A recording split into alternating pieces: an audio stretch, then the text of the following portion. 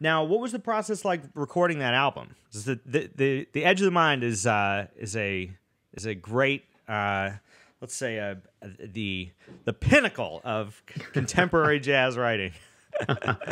Thank a you. A pinnacle. I'll, I'll uh, it's a great record. I'll take it. Uh, I'll take it. Uh, yeah, that record. We were really proud of that record. Um, we recorded at Systems Two in Brooklyn with Michael Marciano as our engineer, who's uh, just an absolutely genius engineer, and it was it was a two day experience to record, and I'll say that. Uh, well, John McNeil, I should add, was our sort of producer for that Uh-huh. record. He sat in the booth and was giving us the uh, objective feedback that we needed I'm sure he to, was to make everything work. Yeah. Yeah. well, he was he was fantastic. and so, you know, it was it was a tremendous experience. The the one thing that really stands out from the recording was John Hollenbeck's infinite wisdom and experience Mhm. because he literally played with a metronome on silent at his side the whole time so that when we had to do an alternate take when we had to come back to a tune redo a section whatever it was he was pretty much guaranteed to be at the same tempo so that when we went back in the editing process we had very very few issues uh, piecing things together it was really a great great addition Sure. And that's not easy to do to keep the fluidity of a jazz group and the spontaneity of it and still be looking down at the metronome, the light on the metronome going the whole time. Right. That's a tricky Right. move.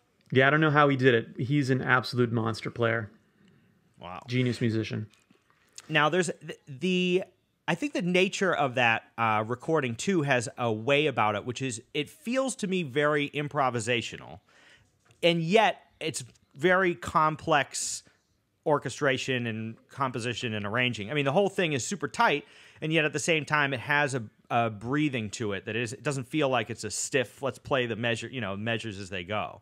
Is there any secret to that? I think maybe one of the best examples is in. Is it?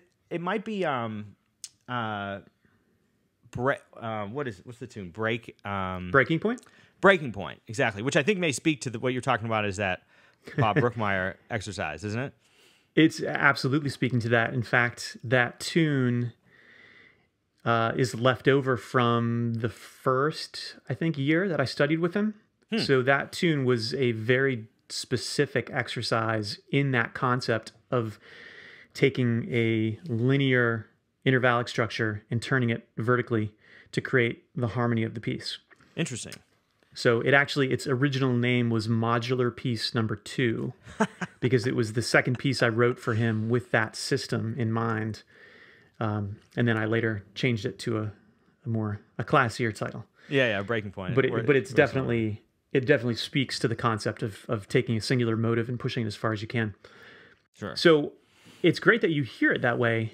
Uh, that's that's you know a, a huge compliment because we were trying to consciously integrate improvisation into the compositional process rather than the more traditional approach of having composition a section of improvisation back to the composition Sure. we wanted there to be a seamlessness and so what I did to try to achieve that was to, in a couple of our tunes, start the soloist from a point of composition.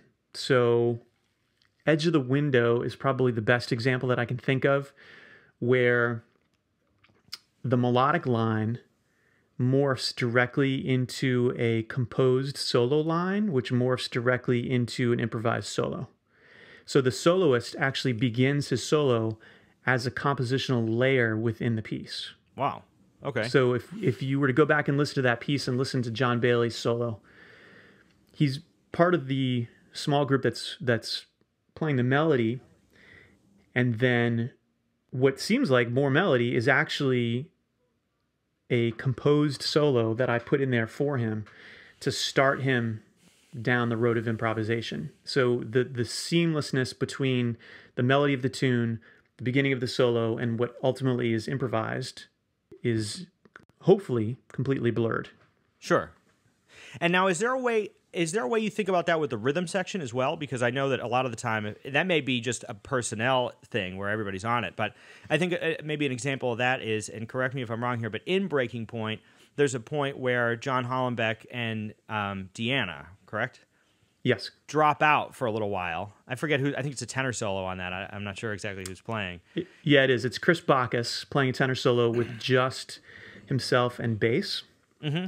And the the bass player Dave Ambrosio is playing uh, a hemiola essentially. So he's he's creating this unstable uh, meter, and Chris is blowing over top of it in a very fluid, organic way. And so the the very strict sort of rhythm of the earlier part of the piece becomes it's just gone it evaporates and we've got this very unstable groove that develops and when hollenbeck comes in comes back in and when deanna comes back in it's a it's a highly punctuated you know rhythmic ostinato that then is layered with horn players and takes us back to the original sort of vibe mm-hmm. and was that planned that was a was that part of the that was in the piece that's part of the piece Yep. Now, there's another piece, and I may be confused about this, uh, but there's another piece on the record someplace where wasn't there like a surprise, like the rhythm section did something, made a left turn all of a sudden, and then you you almost stopped the whole piece because you weren't sure what was going on. Yeah, that's funny that you remember that story. Uh, that was in Edge of the Window, and that was, um, I think it was, I think it was the John Bailey solo or maybe it was Deanna's solo that's right after it. I forget which one it was at this point, but in the original concept of the piece, the solo section was still under the same groove as the earlier part of the piece. It was a straight eighths, you know, um, rim click sort of sort of vibe, and over the multiple takes, um, I don't know if it was the first or second take of the tune, they the rhythm section just went a completely different direction and completely freed it up, basically dropped out, and we're just playing colors. Mm-hmm. And it was a it was a it was a a vibe we had never experimented with on previous gigs or rehearsals. We'd never discussed it. It just happened spontaneously. I'm sure you know the soloist inspired the rhythm section in some way to go that direction and my my instinct was to stop because that's not what I expected to happen. Thankfully I didn't because that was ultimately the take that we went with because it was such a great contrast to the rest of the piece. Uh, I would be, you know, supremely remorseful had I not, uh, had we not recorded that that section. Sure, and it's a bold move by the rhythm section when you're in a recording session to roll the dice and try something completely wild. But I, think that may be it's not an easy thing to achieve that that balance between the improvisation and the composition where everything goes exactly as it's supposed to go. With 17 people, you can't be, you know, rolling the dice is a dangerous game a lot of the time, but when it when it works out, it's you know, it's a big payoff.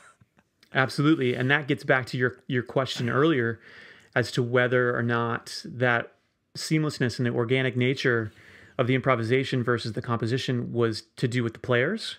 And this is exactly where you're right because those players were mature enough and experienced enough in this type of music that they felt comfortable just going with the moment mm-hmm. rather than feeling obligated to stick to the plan. And that's the the beauty of that particular collection of players and the beauty of being able to work with the same players for an extended period of time. They get to know each other. Uh, we get to know them as composers, and so a lot of the music we wrote over that decade was geared towards a specific player in the band, much like Ellington would have done. Mm-hmm. You know, where we get to know these players and we get to know their particular approach, and we think, oh wow, this they would sound great on this tune. Let's build in a solo for that particular player. And you know, it's for me what made that band magical was the the people playing that music and the way they approached it. Sure and that's not an easy thing to do to be able to have the same people show up and or a relatively consistent lineup or you know keep something like that together. No, especially when they're working for lunch money.